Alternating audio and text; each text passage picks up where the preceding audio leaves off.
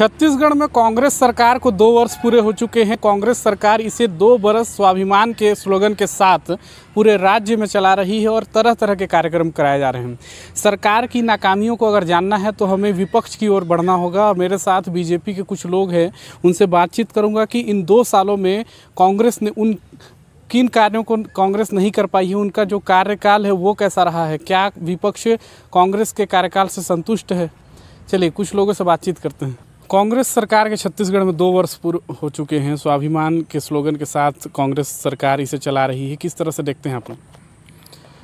देखिए, कांग्रेस के दो साल पूर्ण होने पर जो उत्सव के रूप में जो कांग्रेस के मंत्री नेतागण कर रहे हैं, ये बहुत ही निंदनीय विषय है। छत्तीसगढ़ का किसान यहाँ आत्महत्या कर रहा है और छत्तीसगढ़ के कांग्रेसियों, कांग्रेस की सरकार ने छत्तीस वादे जो किए थे एक भी वादा इन्होंने पूर्ण नहीं किया है। चाहे वो पच्चीस रुपये धान खरीदी का मामला हो, आज भी किसानों को पच्चीस रुपये की दर से उनकी राशि उपलब्ध नहीं हो पाई है। अभी सरगुजा में एक किसान कर्ज के रूप में कल ही हम लोगों ने वहाँ गए थे मिलने के लिए। वहाँ एक किसान आत्महत्या किया है और जो मक्का के खरीदी का बात करते हैं तो हमारे यहाँ मक्का का खरीदी का काम इनके द्वारा नहीं किया गया। सत्रह रुपया मक्का खरीदने का बात कर रहे हैं। किसान आज आठ रुपया और दस रुपया बेचने को मजबूर है। हर मोर्चे पर किसान कांग्रेस की सरकार फेल हुई हो, चाहे वो रोड का मामला हो, चाहे बिजली का मामला हो, महिला स्वयं सहायता समूह के कर्ज माफ़ी का मामला हो, या अपने शासकीय कर्मचारी जो क्या नाम कहते हैं, जो संविदा में थे या और किसी में थे, छटनी का मामला हो उन सब लोगों को नियमितीकरण का बात किया गया था। उसको भी कांग्रेस के सरकार के द्वारा पूरा नहीं किया। बेरोजगारी भत्ता युवाओं के के साथ जो बेरोजगारी भत्ता पच्चीस रुपये देने की बात कांग्रेस सरकार ने की थी, वो भी उन्होंने पूरा नहीं किया। विधवा पेंशन, वृद्धा पेंशन की बात उन्होंने एक हज़ार रुपये की थी, जो आज तक उन्होंने नहीं किया। हर मोर्चे पर कांग्रेस की सरकार विफल रही है। क्या लगता है बचे हुए छत्तीस महीने में कांग्रेस रिकवर करेगी फिर से? देखिए, कांग्रेस के वरिष्ठ नेता कल स्टेटमेंट दो साल सरकार की उपलब्धि का गिना रहे थे। नहीं है। और ये जो तीन साल बची है, दो साल अब सरकार काम करेगी, एक साल चुनाव की तैयारी करेगी। मुझे ऐसा नहीं लगता, ये ढाई ढाई साल की सरकार जो इन लोगों का चल रहा है कि ढाई ढाई साल में मुख्यमंत्री बदलेंगे और मुख्यमंत्री जी का खंडन होता है तो ये आपस में ही करके जनता का कोई भला नहीं करेंगे। चलिए और भी लोग उनसे बातचीत करेंगे। इन दो सालों में कांग्रेस का कहना है कि 36 में से 24 वादे पूरे हुए हैं। क्या लगता है वादे पूरे हुए हैं कांग्रेस के? कांग्रेस छत्तीसगढ़ में अपना झूठा ये वादा और सरकार अपना नाकामी को छुपाने के लिए ये जो खुशियाँ मना रही है ठीक है? ये चौबीस में से एक वादा बता देना भाई कि किया हो। जैसे कि महिला सुरक्षा के लिए बोले थे, आज वो भी सुरक्षा नहीं हुआ। बेरोजगारी में चौबीस सौ भत्ता बोला था, वो भी नहीं मिला है। और बोला गया था कि ग्राम सड़क प्रधानमंत्री ग्राम सड़क योजना के तहत जो है, जो टूटी फूटी गाँव में सड़कें हैं, उसको बनाने के लिए कहा गया था, वो भी आज तक नहीं बनाया गया है। मतलब इस कल जो है, खुशियाँ जो मना रहे थे, हम इसके निंदा करता हूँ। घोर। आप लोग किसान भी हैं साथ साथ क्या लगता है अभी धान खरीदी का सीज़न है? कितने संतुष्ट हैं आप लोग? हम लोग इसमें किसान कोई संतुष्ट नहीं है। अगले साल जो कांग्रेस सरकार ने बोला था कि पच्चीस रुपया के लिए, लेकिन आज तक साल भर हो गया, देने में नाकाम है। इसलिए कांग्रेस सरकार से पूरे किसान ने असंतुष्ट हैं। चलिए कांग्रेस सरकार से पूरे किसान असंतुष्ट हैं। पुलिसिंग व्यवस्था को लेकर बताइए, दो सालों में कैसा रहा पुलिसिंग व्यवस्था? कानून व्यवस्था क्या लगता है इन दो सालों में कांग्रेस सरकार में कैसा रहा?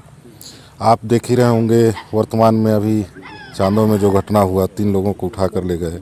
बस्तर में देखिए छः छः सात सात निर्माण कर रहे वाहनों को फूंक दिया गया। इससे नहीं लगता है कि इन्होंने नक्सलियों के ऊपर कोई कठोर कार्रवाई की है या करने की इनकी मंशा है। चलिए, और भी लोग हैं, युवा वर्ग हैं हमारे साथ, उनसे बातचीत करेंगे। आप लोगों को बताइए, जिस तरह से कांग्रेस शासन में आई, कई तरह के वादे थे बेरोजगारों को लेकर, खासकर युवाओं को लेकर, के क्या स्थिति है अभी युवाओं की? युवा अभी भी बेरोजगार हैं। आपने कहा कि हम पच्चीस सौ रुपये देंगे। किसी एक भी युवा को पच्चीस सौ रुपये नहीं मिला। हम लोग चूँकि ग्रामीण क्षेत्रों में रहते हैं, और लगातार ग्रामीणों के बीच में आना जाना हम लोग को लगा रहता है। डॉक्टर रमन सिंह की बहुत अच्छी योजना थी स्मार्ट कार्ड योजना। स्मार्ट कार्ड में पचास हज़ार रुपये तक की जो स्वास्थ्य की जो सेवाएँ थी, छत्तीसगढ़ के पंजीकृत हॉस्पिटलों में आप जाके पचास हज़ार रुपये तक का इलाज करवा सकते थे। आपकी सरकार आई, आपने कहा कि हम यूनिवर्सल हेल्थ कार्ड बना के देंगे, ज़्यादा लोग का इलाज कर सकते हैं। आज स्थिति ये है कि ना स्मार्ट कार्ड ही चल रहा है, ना आपका दो साल में universal universal health health card बन चुका है अभी अभी तक आपका यूनिवर्सल हेल्थ कार्ड नहीं बना। युवा बेरोजगार हैं, एक भी आपने भर्ती नहीं निकाली, जो आपने शिक्षा कर्मियों का संविलियन कहा तो वो भी आप लोगों ने नहीं किया।